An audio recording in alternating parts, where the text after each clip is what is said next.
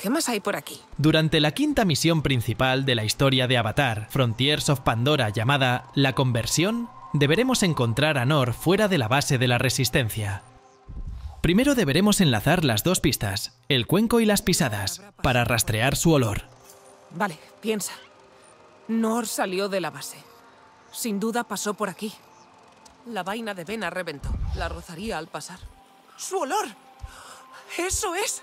Puedo rastrearlo. Luego deberemos encontrar una ruta ascendente hasta dar con él. El problema es que no se sabe qué camino tomar, y cuando llevas un rato intentando escalar por varios lugares sin éxito, el juego pierde atractivo. Si te has bloqueado, como me ha pasado a mí, te dejo el camino por el que por fin conseguí superar la misión.